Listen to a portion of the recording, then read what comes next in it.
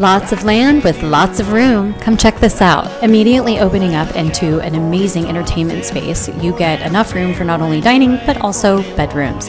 Here's bedroom one, and then we go into our bonus room, currently being used as a fourth bedroom. As we come down the hallway, we are going to find master bedroom with lots of closet space and this gorgeous ensuite with double shower heads. What?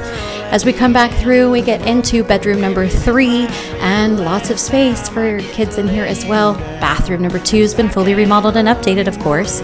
As we walk into the expansive, amazing kitchen, you'll notice the views as well as all of the additional entertainment space, fireplace to keep warm, and beautiful views for days. If these views aren't good enough for you on the inside, let's go ahead and take a step outside where we're going to find a great wraparound porch, perfect for allowing additional entertaining or really picking your favorite views on your 30 acres to sit and enjoy nature. If you're looking for expansive room both inside and outside, this property is absolutely for you.